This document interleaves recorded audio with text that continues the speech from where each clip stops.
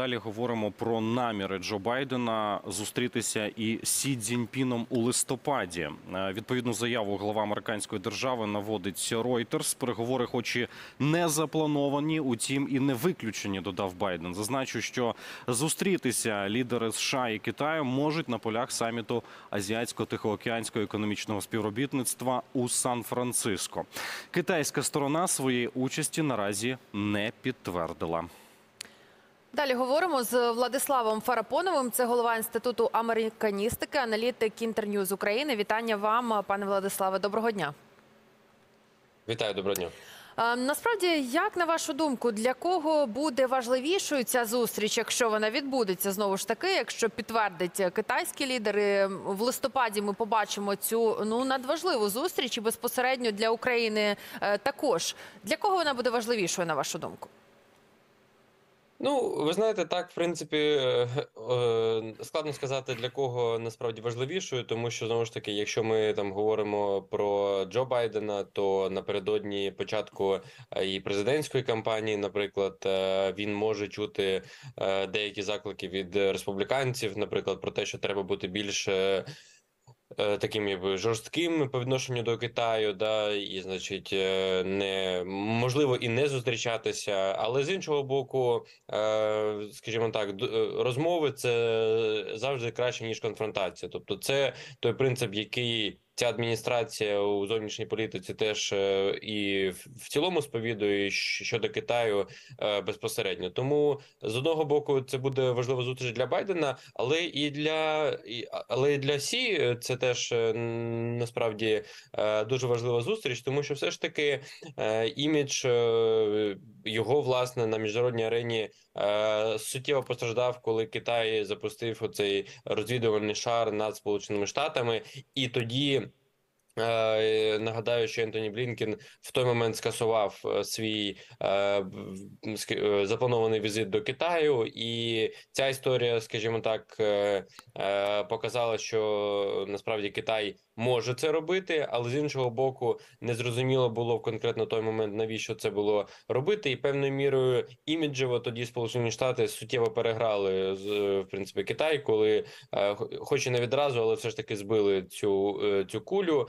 І ці е, розмови про зустріч це все ж таки більше спроби, мені здається, американської сторони принаймні прокласти цей місточок до можливої розмови, тому що дійсно лідери рік не, не говорили, але е, от Ентоні Блінкен той свій візит. Переніс на трохи пізній час, і в принципі, е, той візит його до Китаю був знову ж таки, хоч і підданий критиці з боку республіканців, але був більш таким конструктивним, і можливо, це знову ж таки стане черговим таким етапом е, зниження напруження і в економічній е, сфері, і у двосторонніх відносинах. Тобто, в принципі, це важливо для обох сторін, і так е, сказати, що це комусь буде більш вигідно, складно, тому що все ж таки сторони перебувають в різних умовах. Да? У Байдена через рік вибори. У Сі навпаки йде посилення е, власного режиму і по суті власної е, сили всередині Китаю. Е, Пане Владиславе, ну зараз у Джозефа Байдена е, з'явилося ще одне питання, яке вимагає термінового вирішення. Маю на увазі те, що відбувається в Ізраїлі, атаки Хамас на ізраїльську територію, які стали Блумберг так вважає несподіванкою для ізраїльської розвідки. Зокрема, як вважаєте, от е, цей фактор він зараз може якимось чином відтермінувати всі питання пов'язані з Пекіном?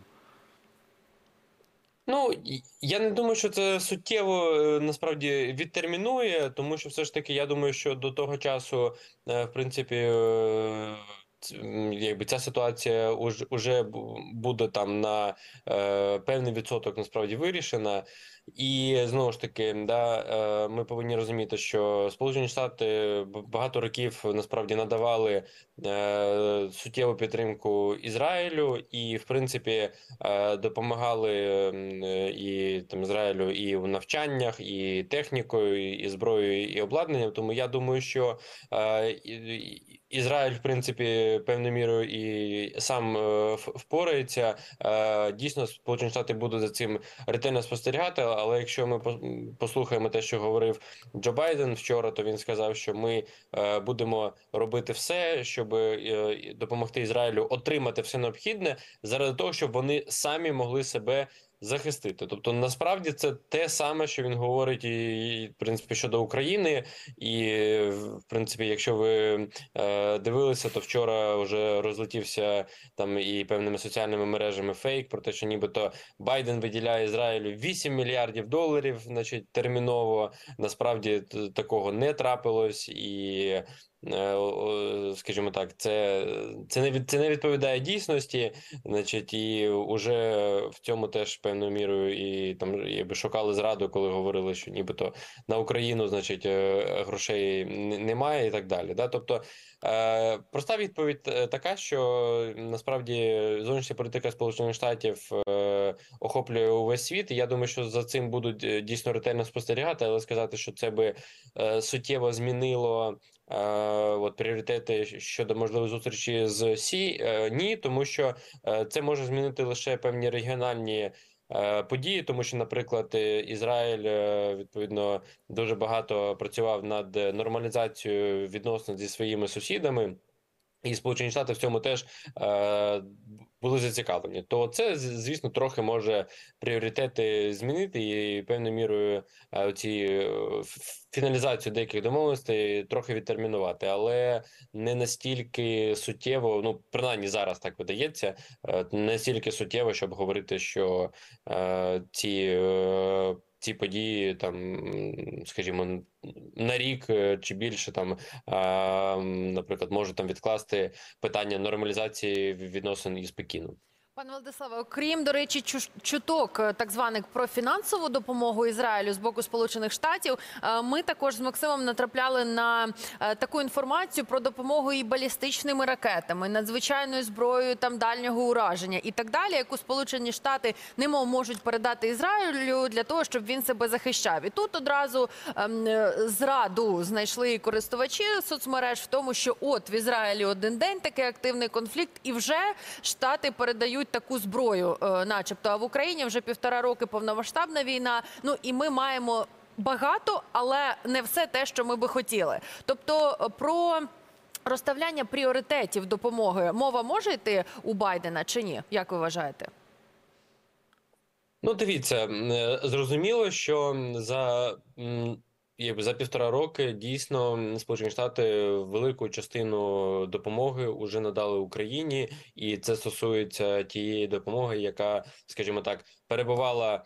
У Сполучених Штатах і е, цю допомогу ми о, отримали, але теж частина е, з тих оцих коштів, да, там які були, значить, е, е, по суті, виділені конгресом, вони були реінвестовані в американське виробництво, щоб потім е, частину з них передати Україні, а частину, скажімо так, е, е, по суті.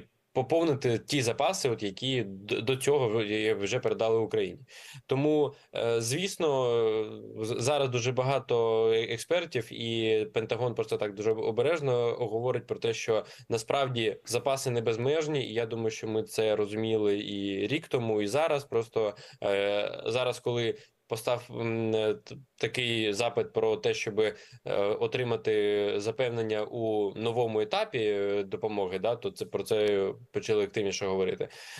В принципі, я думаю, що ми не повинні виключати того, що Сполучені Штати будуть шукати різні варіанти забезпечення нового етапу якраз фінансування і.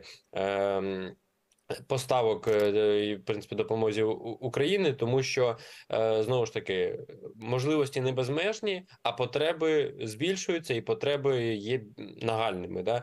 Тому з Ізраїлем я думаю, що буде так само, і я переконаний, що адміністрація Байдена це чудово розуміє, тому що якщо вони, е, значить, оперативно умовно щось е, суттєве таке поставлять Ізраїлю, то потім е, опоненти в конгресі, а це республіканці, які е, напередодні виборів будуть шукати такі можливості, будуть говорити про те, що, значить, е, дійсно Ізраїлю ми, значить, швидко допомогли, а Україні не так швидко. Тому я думаю, що на такий крок адміністрація Байдена не піде, розуміючи насправді е, і іміджеві і репутаційні насправді наслідки для себе. Да? Тобто будуть шукати можливості і допомогти Ізраїлю, і допомогти Україні, але не за рахунок один одного. Дякуємо дуже, Владиславе. Спасибі за аналітику. Владислав Фарапонов був з нами на зв'язку. Голова інституту американістики, аналітик Інтерньюз Україна.